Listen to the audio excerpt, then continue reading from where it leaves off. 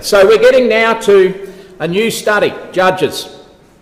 And of course, uh, this could take a lot of nights. We've only got three, so we're not going to be getting too far into it. I'm sorry if I'm disappointing you if you think I'm going to do Samson. I'm not doing Samson in this small series here of, of Judges. Um, just happened to be a quite effective slide to use as the, uh, the home slide, if you like, of the study. Um, but what we do want to do is, uh, is just explore a little bit of the, the background of the Judges tonight, just to have a little look at what lessons we can gain from the book of Judges. Um, I think if you're like me, you'll probably have fond memories of going through the Sunday school era when it was the Judges era. I don't think that's this year, I think it's next year. When I say next year, I think I'm talking about starting September next year, that stage of notes.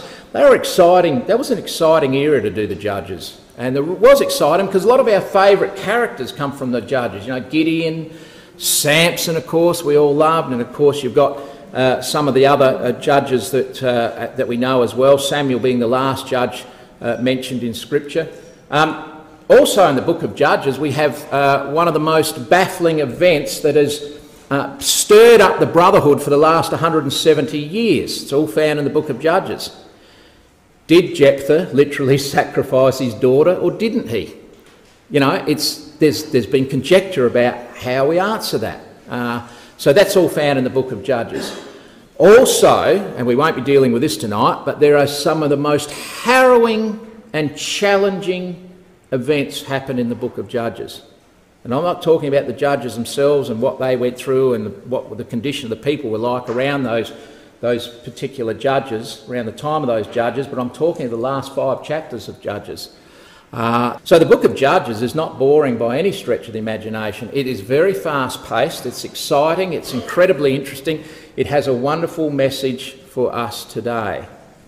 So let's get stuck into it. Let's just have a little look at some chapter uh, breakups of the uh, simple, very simple chapter breakups. Only three of them I'm going to give you uh, about the book of, uh, of Judges. We could have we could break it up a lot more small if we wanted to, but let's just just have a look here as we go through. First of all, chapters one from verse 1 right through to 3 verse 6, the failure of the first generation. That paves the way for the book of Judges, for what the era was like. All stems back to the first three chapters up to verse 6 of, of the book of Judges. Quite incredible, really, when you have a look at what went wrong right at the go get, at the get, uh, get go, is that the word, or go get, whatever it is, right at that very beginning, it really goes wrong for Israel. And of course, uh, the, uh, the next lot of uh, chapters there, from verse 7 of chapter 3 right through to verse 31 of chapter 16, we again always see the salvation, the long suffering salvation of our God stepping in to save his people. Now, the last five chapters, we have labelled them the confusion of a depraved people. It's quite interesting when you get to these chapters, brothers and sisters, because they're not in chronological order. Uh, if you want to know the chronological order of, of Judges, that's what you've got to do. You've got to put it like that. So the last five chapters of, of, uh, of Judges actually really should go in straight after verse 6 of chapter 3. So we got the first instance of where the people go wrong. We then have this ex- ex- a terrible explosion of, of depravity and, and the conditions of Israel. Starts off with a family that brings idolatry into the family, and that spreads to a tribe, tribe of Dan, that depravity, that uh, uh, idolatry. And in the end, it explodes into this most incredible era of violence one of the most incredible eras of violence in Israel's history, where uh, it talks about a harlot, it, talks about uh, um, uh, alternative lifestyles. I don't need to spell that out, what that means. It talks about the highlights that people were prepared to go to to make a point of taking a woman, cutting her up into 12 pieces, putting her into prepaid postal bags, sending them out into all places of Israel. That's all in Judges just to make a point. And then it talks about vengeance on, on a scale that we just cannot even begin to imagine. It almost wipes out a complete tribe. Tribe of Benjamin almost gets wiped out. if it wasn't for the intervention of God. That's how bad things had become in the era of the judges. But just remember the chronological way in which the judges is actually, is actually put. So the, the time period of the judges, this is very interesting. It's open to conjecture. Uh, the actual period of the judges and the actual dates can be a little tricky to, to really highlight. Um, I've just given a suggestion here uh, that we probably could say is close enough. There's another one I'm going to show you in a minute that throws a little bit more light on it. Uh, we do have some clues as to how long the period of the judges uh, lasted for. Uh, but there is one quote in Acts 13 that often throws us completely. So let's just have a look first of all as we would break up the chronology of when the judges period actually happened. So we start with the patriarchs, Abraham, Isaac and Jacob. We then got the exile in Egypt, the uh, Israel in Egypt. Then they leave Egypt under Moses and then eventually Joshua. Then you've got the period of the judges. And then after that, of course, starts the era of the kings. Now, when you come to Acts 13 and you read uh, these words in Acts 13, you can be forgiven for saying, oh, well, there you go, the period of the judges lasted for 450 years. Well, it's not quite correct. So, Acts 13, and we read from verse 17. And this is Paul speaking, and he's, he's about to give a dissertation on the history of Israel. And he says in verse 17, The God of this people of Israel chose our fathers and exalted the people when they dwelt as strangers in the land of Egypt and with an high arm brought them he out of it. And about the time of forty years suffered he the man, their manners in the wilderness. And when he had destroyed seven nations in the land of Canaan, he divided their land to them by lot. And after that, he gave unto them judges about the space of 450 years until Samuel the prophet, Samuel being the last judge. So all of a sudden, you read that, you'd be forgiven for saying, well, there you go, the period of the judges lasted 450 years. You can't get 450 years when you look at all the judges, you look at all the times that they suffered under the nations, you look at all the times that they were given peace. It's a very difficult thing to do to stretch that out to 450 years. Most people say it was around the 300 year mark. Well, that verse in verse 20 of Acts 13 is not quite written the way it's meant to be written in the original. Let me put it on the screen how it should be written. Uh, it says this. Well, first of all, put some dates up here for you. So we're talking there of, uh, we're suggesting that you know, the judge's era started around 1340, 1350. I've half, made it halfway through to 1015. That may be slightly out as well, but it's pretty hard to get more than 300 years in the book of Judges. So, when you read Acts 13, verse 17, this is what it does say. And I won't read all this again, it's almost identical up until you get to the last part. Let's just read the bit there. It says, He distributed their land as an inheritance, all of which took about 450 years. After these things, he gave them judges until Samuel the prophet. So when you read Acts chapter 7 and you read verse 20, it's not talking about the period of judges lasting 450 years. It's talking about the period from when they went down into Egypt right through to when the judges started. And you can actually see that's a 450 year period. And that matches up with what um, Stephen says in Acts chapter 7.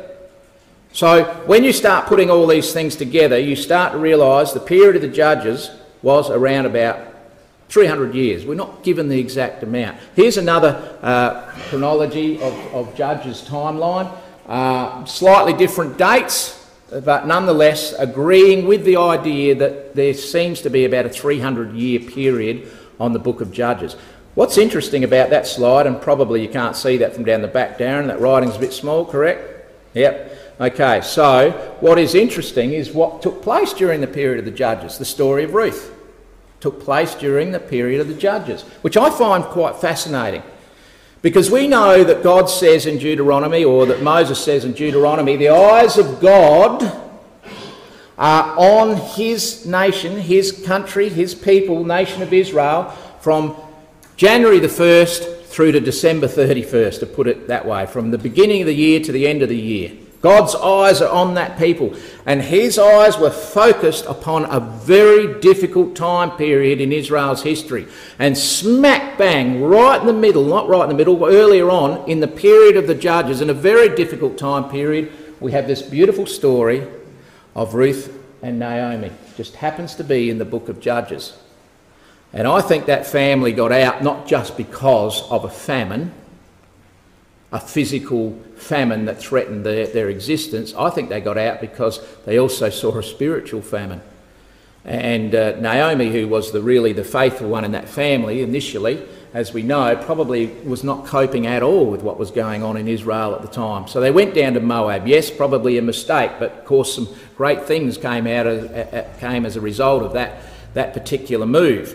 And when they came back into the land, it was just Naomi and her daughter-in-law Ruth and of course, that led to the, to the lineage of the Lord Jesus Christ. Quite interesting, isn't it? How that God was going to bring those two events the event of Naomi and Ruth, the event of what was going on back in Israel at the time of the judges, two, two oppositely opposed things a very faithful small family, a terribly depraved ecclesia of God. He was going to bring those things together in the book of Judges, and of course, it followed on with the, the story of Ruth. Quite, quite incredible what was going on during the book of, of Judges, that era.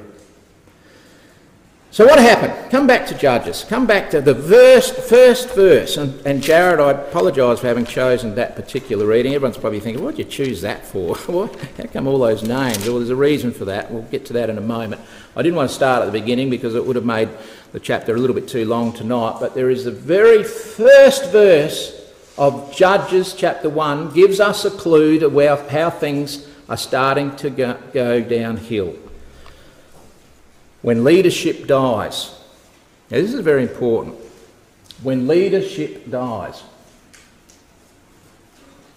and we read in verse, uh, verse 1 Now, after the death of Joshua, it came to pass after the death of Joshua, it came to pass. You know what that really means, brothers and sisters and young people? Here's what it means.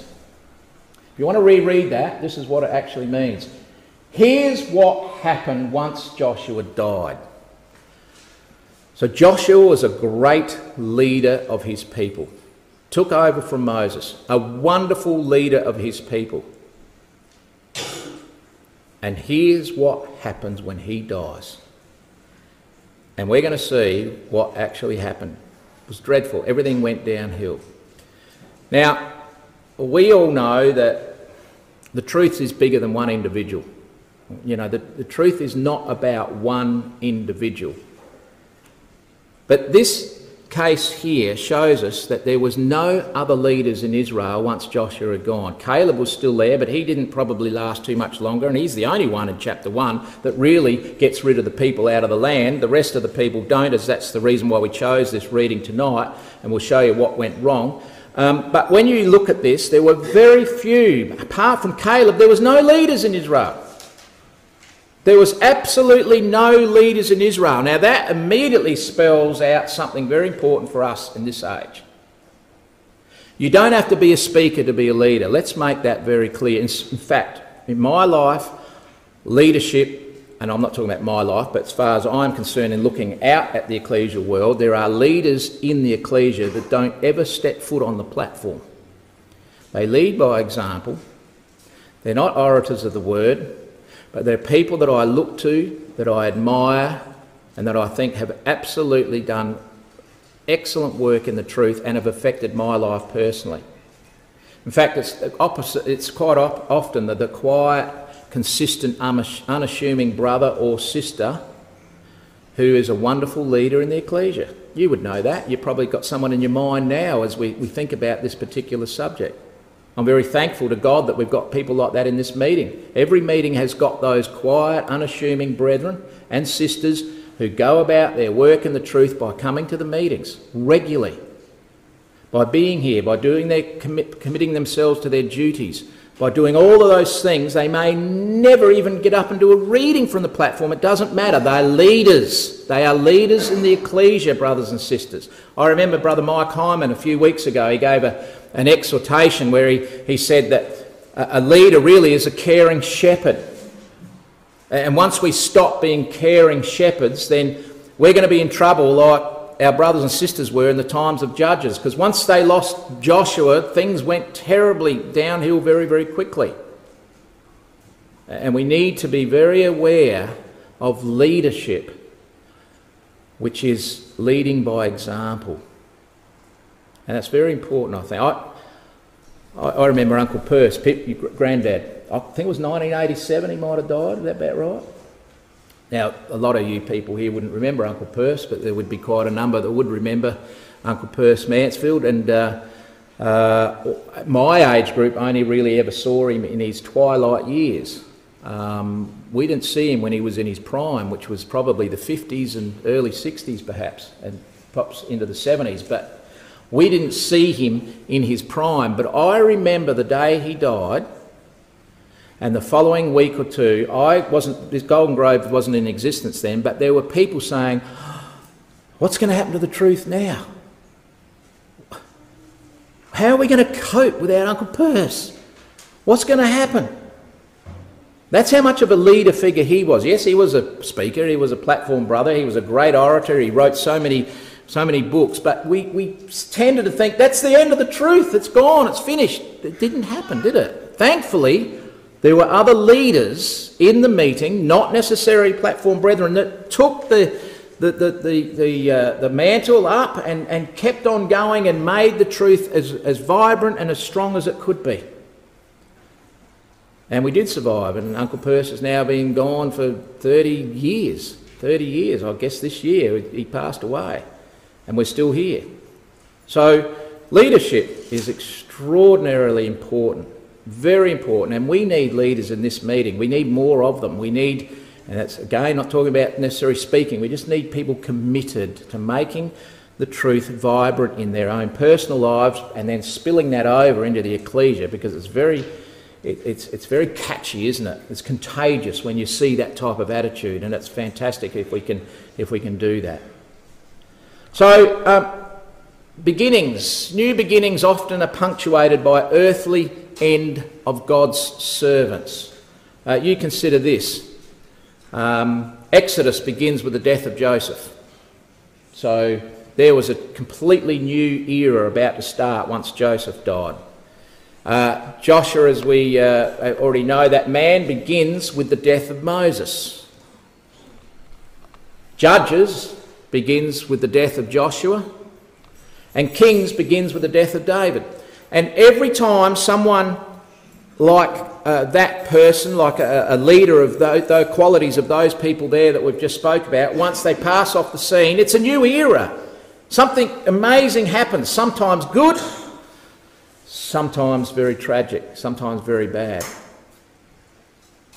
And of course, we don't know. We're not immune to tragedies in our life. We're not immune to things happening in our life where we, we totally have no control over. And here was a situation where the death of Joshua, the people had control over that. They could step up to the plate and make a real good go of it, but they didn't. And we're going to show you now from our reading what went wrong when there was lack of leadership. What went wrong after the death of Joshua. And chapter 1 is all about that. It's all about it because it goes on to talk about how the individual leaders of the tribes and the tribes themselves had been given their portion of land and what they needed to be doing with that portion of land, which was to drive out the enemy, to drive out the existing inhabitants. That's what they were meant to do. So when we get to Judges chapter 1, and again, Jared, you did a great job for reading it. There's a lot of names in there, I know. We need to always remember what God said to his people right from the word go. He said, Never let the people, that's the people, the existing people in the land, never let them live in your land, or they will make you sin against me and they will trap you into serving their gods. Now, that was the foundation number one rule that all the tribes had to lock up into their brains and had to teach to their kids, had to teach it to their families. The elders had to teach it to their various tribes and their tribal elders and so on. the number one rule was you cannot live alongside somebody that already is in that land because you will end up falling prey and they will trap you into serving their gods. So, what happened after Joshua died? What was the catalyst that was the springboard into, into catapulting Israel into some of the darkest times of their ecclesial history? What was it? Well, it's listed in that reading tonight. They didn't live up to that fundamental number one principle getting rid of those people out of the land. By the way, you might think, gee, that seems a bit harsh of God, doesn't it? You know, here was a people living in the land Canaanites, the Amorites, the Hivites, the Philistines, they were all living there. You know, they had the land there first, and God comes along and He says, Get rid of them all, drive them out of the land. You can't leave them there. And we might think to ourselves, That seems harsh. That seems very harsh to say and to do that. You only got to look in the history books and even in Scripture itself and have a look at the quality of the people that were living in the land prior to Israel coming along, and you will see and understand why God did not want them there. They were absolutely dreadful in every sense of the word, right down to teaching their kids the most horrendous things that they could do as children. And God says, I do not want them in that land. I'm going to call that my land. I want my people to go in there, and I do not want those people to stay there because if you leave them there, they will make you sin. They'll trap you. That's what they're going to do. Well, of course, uh, they fail to do it. Just turn the page. The first one, we start in verse, uh, in verse 19 there. You will see the first ones there that didn't drive out the inhabitants uh, was, uh, was Judah. He drove out the inhabitants of the mountain, but he couldn't drive out the inhabitants of the valley. So we've got a problem already. He just couldn't get them out. Notice next verse, Caleb does though. He gets rid of the, the people, the influences in the area of land he's got. He gets rid of them. But then starts this, this, this repetitive points where the people that were in the land, the various tribes, did not drive the, the people out. And it starts off, of course, in verse 21 the children of Benjamin did not drive out the Jebusites that inhabited Jerusalem, and so on. So let's just put some of these up on the screen. Just have a look. So, verse 27 Manasseh, that's not Manasseh the king, of course, you all know that's the tribe of Manasseh. Manasseh the king hasn't even been born yet. Manasseh did not drive out the inhabitants of Beth Shean. Now, we've already got an issue that's going to arise as a result of them not doing this. Now, the inhabitants of Beth Shean were the Philistines. Manasseh didn't get rid of them out of that particular area, out of that particular, became the city Beth Shean. And as a result of them not driving out the inhabitants of Beth Shean, one of the most loveliest men of the Bible, with his father and his brothers, were nailed to the city walls, city gates of Beth Shean. Saul, Jonathan, and his brothers. They nailed their headless bodies to the walls, to the gates of that particular city. Now, had the tribe of Manasseh done their job in the first place, we might never have had that incident. Well, it would have happened somewhere. I'm sure God had it all under control. But it just goes to say, show, if you don't make a stand here, way down the track here, something terrible could happen. And it did. And we move on. Israel did not utterly drive them out, verse 28. Neither did Ephraim drive them out. Neither did Zebulun drive them out. Asher didn't drive out the Canaanites. They did not drive them out. Neither did Naphtali drive them out. And we read that, and Jared read that for us time and time and time again. They completely forgot about Exodus 23. They got lazy. They started to say to themselves, you know what, they're not such bad people. We can live alongside of them. We'll keep them control. We'll make them be tributaries. They'll have to pay us taxes. And as a result of that, they, they were trapped, just as God said they would become. They, become.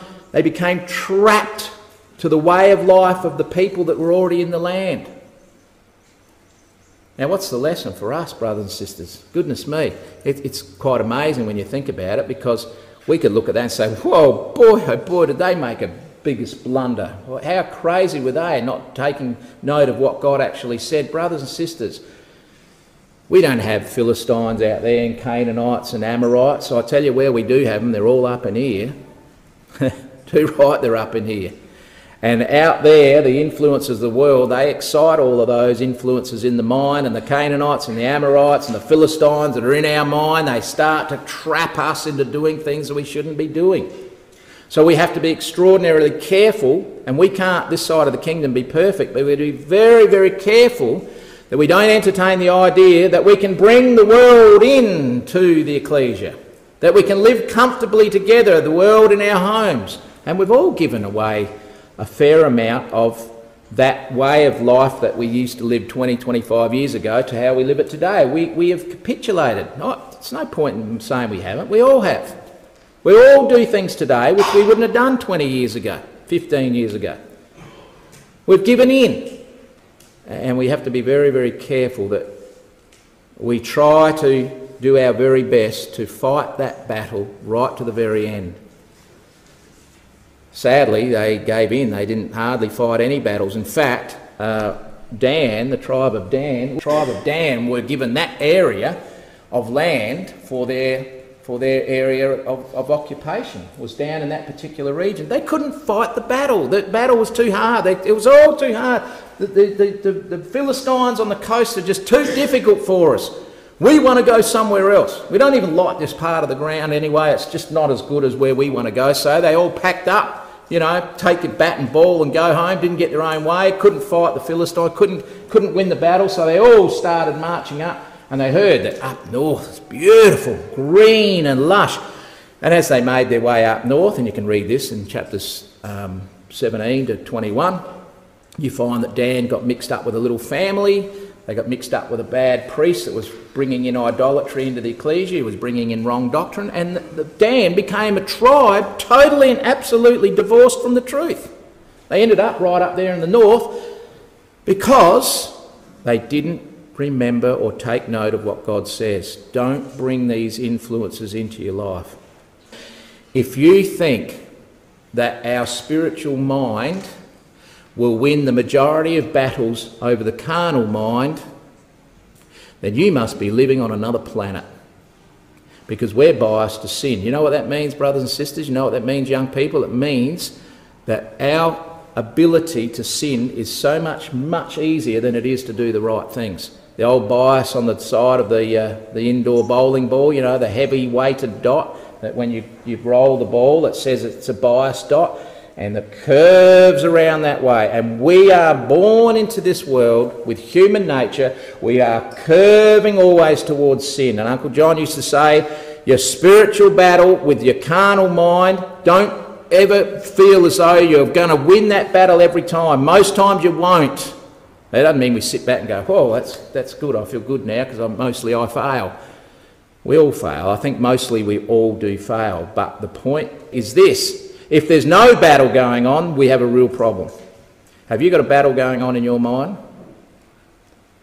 Do you find that tomorrow when you get up and you go about your daily work, that there's a battle going on in your mind? And there's a battle going on with the influences that we're involved in? Because if there's no battle and things are just really good and we're entertaining all of these lovely pleasures of life, then we have definitely lost the battle because there isn't one. If there's a battle going on in our mind and there's a warfare going on in our mind and we do lose probably more than we win, as long as that battle's happening, that's what God wants to see. So these people had lost the battle. They were giving God the leftovers. They couldn't care less anymore. They had all of these people in the land. That's all right. You can stay here. Just pay your taxes. Become a tributary. That's all right. No problems at all. Oh, look at what he's doing. Won't get involved in that. And within a short period of time, they're not only involved in it, they're encompassing it all, and it becomes a way of life for all of those brothers and sisters and their families in the ecclesia because they didn't get rid of these people out of their land. So we have a broken people we have a very faithful God, though. He doesn't leave them in the lurch. Every man did that which was right in his own eyes. Now, that's mentioned twice in, in uh, Judges in 17 verse 6 and 21 verse 25.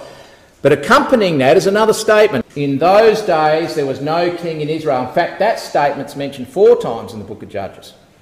Twice it's mentioned in conjunction with this divine summary, but that's equally as important. There was no king in Israel. Well, that's an irony because I understand there is a king in Israel, There was a king in Israel at that particular time. God. It was God. Now, here's the interesting scenario. We believe that Samuel wrote the book of Judges. Can you remember how Samuel felt when, when the people wanted a king that they could see? He felt as though it was a, a really, a, a, he felt badly let down as though the people didn't want him anymore as a judge. They didn't want Samuel anymore, and, and, and he felt badly let down. And God said to him, Samuel, it's not about you, Samuel, it's me. they they basically don't want me. And I have been their king right back here 300 years before Samuel. I was king right back there in the time of the judges when they first came into the land. You remember the Sunday school lessons? To have a kingdom, you had to have people, you had to have land, you had to have laws, and you had to have a king. And they had all those things. They had the people, they had the land, they had the laws, and they had a king, which was God. Hence it became known as the kingdom of Israel, well before Saul ever came along. So, really, what this is actually telling us is that they had discarded God way before the time of Saul. It had started right back here in the beginning of the, of the era of the judges. They'd lost their passion to accept God as their leader, as their king, hundreds of years before Saul was born. And of course, uh, that started a lot of this particular issue of, uh, of them spiralling out of control and going downhill. Alrighty, so uh, the judges, what do we know about some of these judges? Well, what we do know is that every judge was different, quite different from each other. Um, they were quite special in their own right. Some of them that we know very well, and there's a, there's a lot of information about some of the judges. Some of the other judges we know very little about. There might be one or two verses. In fact, you know, Pippo used to love your studies on the nobodies that nobody knew. You could almost throw a couple of the judges in there because they'd mentioned once and there's one verse on them, and yet they saved Israel. Well, God used them to save Israel out of a particular nasty circumstance that they were in. I like the fact that God chose different people. These were not all out of the same mould. Every judge, from the obscure to the renowned, was courageous, smart, relentless, passionate seekers of God. We know all that because God wouldn't have used them otherwise, and His Spirit came upon them, as the, as the book of Judges does say. But they're all different, like you and me are different. We're all different, brothers and sisters. I look at some brothers and sisters, I admire, I admire them greatly, but I, I say to myself, I, I, I, can't, I just can't live like that. I don't know how they do that, how they're able to do those things in the truth. I, I wish I could. I, I can't live like that. But they're different. And sometimes, you know, you might look at me and say, well, I'm definitely not going to pattern my life on him. I don't blame you if you say that. We're all different, brothers and sisters. We look at each other and we do things differently. We say things differently. We, we are all different. We're not all of the same mould, except for one thing. We hope, trust, and pray we have the same driving influence and force in our life that all wants the same end result, and that is to help each other be in the kingdom of God. That's what these judges are like. They had, they had the same passion for God, but they did things in such a different way It's quite amazing. And when you look at some of these judges, uh, they, were, they were most unconventional. Uh, some of them were very unconventional. Um, many of the judges not conventional leaders. Now, for example, which judge, had, which judge had a violent temper? Samson. He had a violent temper, but God used him. Now, we all love Samson because there's so much about that man that is just, you know, it's, it's the heroic type deeds he did and the strength he had. And when you come through the Sunday school lessons, we all wanted to be like Samson, nice and strong and tough and, and vigorous and all of those things. He made some huge monumental errors, but he had his own different ways. Who was the son of a harlot? Jephthah. And, and he's, the, he's the character that we all struggle with. Did he or did he not sacrifice his daughter? So you can talk about that over supper if you want. Who was the negligent or neglectful father? Eli. Eli neglected to bring his kids up properly. Samuel, while his kids didn't turn out right, it was probably more so that Eli was completely turned a blind eye to, uh, to his, his children's behaviour. And they weren't children in the sense of kids, they were adults. Oh, this one's pretty easy. Who was the female leader among men? Deborah, Deborah, however you want to say it. So every one of those judges are entirely different in how they react with each other, with the people, and what they do in their life, and, and how they went about their various day to day activities. They all had one focus, though, and that was a passion for God. But they all did things quite differently. They were all out of different moulds, so to speak, but God was able to use them very, very um, effectively. So here's the list of judges. Let's put them all on the screen. There was 14 of them altogether. So we got Othniel, Ehud, Shamgar. Some of these you might never have heard of before. I must admit, I, there was some there I thought, who's that? I've never ever, ever heard of them. Of course, we all know Deborah and Gideon, Tola, for example, Jair, Jephthah, we know, Ibzan, Elon, Abdon, Samson, Eli, Samuel. All we do know is the Spirit of God came upon these people and they were able to work some incredible and amazing uh, um, events in Israel's history. All right, I'm going to leave you with this last slide. Every man did that which was right in his own eyes. There's a little bit of conjecture about really what does that mean as far as where uh, we are concerned today. Let's just put a few quotes on the screen here. Uh, we've got there's just there's quite a few quotes we could go to, but going back to Deuteronomy, don't worship me in how you think is right in your eyes, says God. Very important we do that. We just must understand that we don't worship God how we think we should do it through our eyes. No, it's always the eyes. It's what we see. Sometimes we see things and we think, oh, wow, that's fantastic. And we think we can incorporate that into our worship of God. God says, don't worship me in how you think is right in your eyes. Proverbs 21. Every man, every way of a man is right in his own eyes. But here's the key God weighs the heart.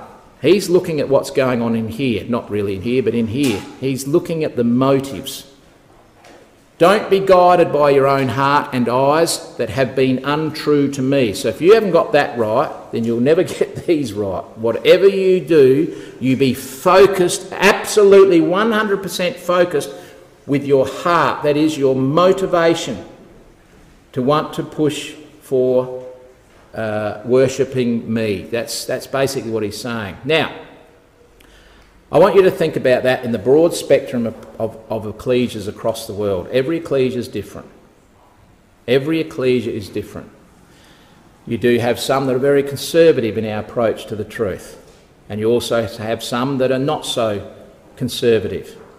Uh, are both right, both wrong, or is one right, one right and one's wrong? What's the word conservative mean? Where does the where do we draw the line with that, that word conservative? Is there a sliding scale? Is there a pendulum? What what does it mean? You know, we often say, oh, somewhere in the middle is a balance. Well, brothers and sisters, just think about this. God is looking at the inward motivation. He's looking at the heart, and He's looking at the person that wants to worship Him. And if that heart is in the right place and doctrinally Doctrinally, it is sound, good basis of the truth. No watering down of doctrines. No bringing in wrong doctrines, which is what happened here in the, in the time of the judges. None of that. Then God can accept both me- measures of, of worship. Now, you could say, well, uh, he accepted the, the, uh, the strict code of the priestly conduct of worship. That was a very conservative way of, of, of worshipping God. God. God accepted that. In fact, he ordained that. And at the other end of the scale, you might say, well, check out David when he was just totally overcome with wanting to worship God, bringing the ark back to, to, to uh, Israel after it being in captivity for so long. And he's bringing the ark back and he's singing and he's dancing and he's doing all of these things which seem foreign to some people, especially his own wife. They stood back and went, oh, that seems different. And, and so all of a sudden, you've got these two ways of worship. God accepted that as well. Now, that doesn't mean we, we're going to come in here doing hallelujahs like all the churches. We don't do that. We, we, we know that. I'm not trying to say that at all. But what I am trying to tell you, brothers and sisters, from the Word of God, is that God Himself accepted both forms of that worship from the very ultra conservative way of, of worshipping God under the, under the ordained priestly code of conduct right through to he loved what, how David's heart was when he brought the ark back to Israel. Quite amazing the enthusiasm, the passion that David was able to show. So God looks on the heart, all right, and He doesn't want us to really miss that point. Don't worship me in how you think's right in your eyes, do it with your heart. And God will be the judge of our hearts at the judgment seat. Sadly, brothers and sisters, sadly, in the time of the judges, they had their heart was like stone. They had no motivation to really want to worship God in the correct manner. And they gave God, as we said previously, the leftovers. Whatever was left over, we'll give to God. And unfortunately, therefore, they rebelled, they put, put wrong doctrine into the ecclesia, and they did what was to them acceptable in their own eyes. So it's just a little basis, if you like, of the book of Judges, how we start. Next week we're going to look at a couple of minor judges. We'll have a little look at some more interesting information about the, the time period of the judges. Uh, I'm sure we'll, we'll, be able to talk about it over, over supper. You can kick it off by talking about Jephthah if you want to. Uh, next class, of course, God willing, we're going to have a look at this quotation that Paul uses in Corinthians that God's strength is made perfect in weakness. Goodness me, is that a fantastic little verse in Scripture that is so evident in the time of the judges? And we'll have a look at how God's strength was made perfect in weakness. It's quite fascinating. So look forward to seeing you in a couple of weeks' time. Thanks, Lionel.